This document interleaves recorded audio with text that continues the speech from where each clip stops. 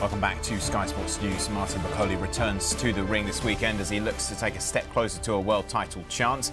He'll face the undefeated heavyweight uh, Igor Shevadzutskyi in Poland, and it's live on Sky Sports. And we can speak to him right now. Martin, thank you for joining us. It's uh, nearly a year since you last beat Olympic gold medal winner Tony Yoka. How excited are you about making a statement in your first bout since joining Boxxer? Oh, thank you to have me today in uh, Sky again.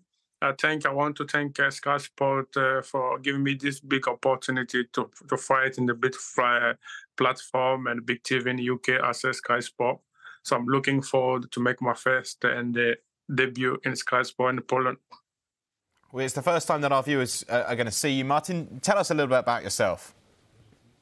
Oh yeah, no, I think uh, people love boxing know me more than myself because I'm in boxing to make a fun and all uh, enjoy boxing. So I'm not Martin Bakole, coming from Africa in Kananga, and uh, now living in UK with my family, focus on boxing.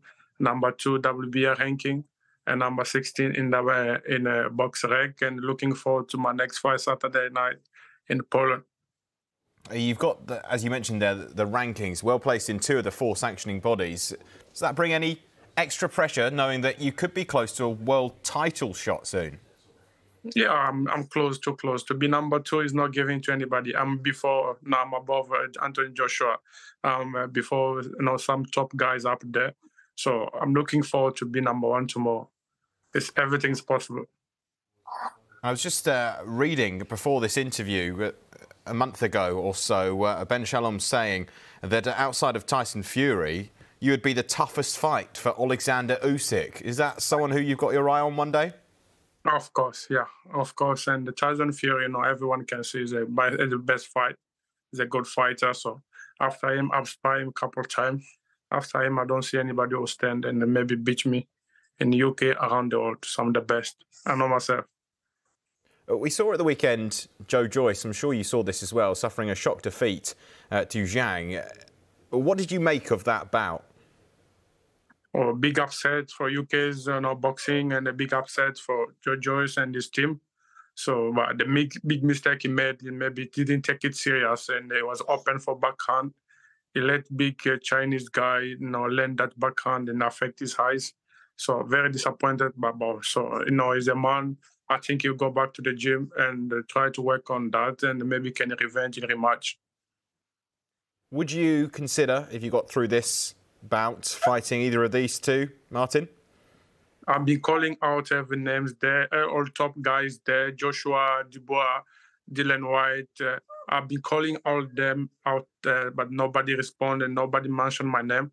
I'm looking forward. even the big guy say yes after my fight. I'm ready to face him. I learned box from my brother Junior Makabu, the Sexpo. I know how to stop Sexpo. And Alexander Usyk knows that. Martin, you've sparred against some of the biggest names in the heavyweight uh, uh, industry right now. Anthony Joshua, Alexander Usyk. Firstly, what's it like to spar against those two?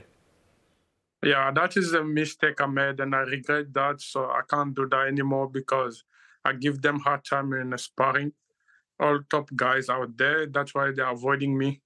So I make big mistake that uh, if I knew it before, or if I was having with the sky, I was not going to do that mistake. Does it mean that you've uh, got a bit of insider knowledge, though, Martin? Because you know you've faced these guys, you know that they might have potential weak spots. Of course, yeah, of course, Martian. What, what about your next opponent then, uh, known as the Hulk? Ten wins out of ten. Does that scare you in any way? Yeah, yeah, no, I'm not scared. I'm expecting the guy. He's uh, he's got 10-0, a good amateur career. And I'm respecting all my opponents. Everyone who say yes to fight me, I always give him respect.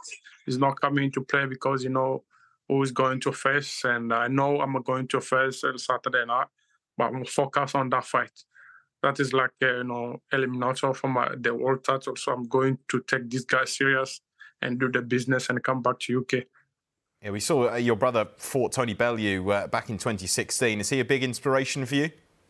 Of course, yeah. I learned box for him He's the one who took me into boxing.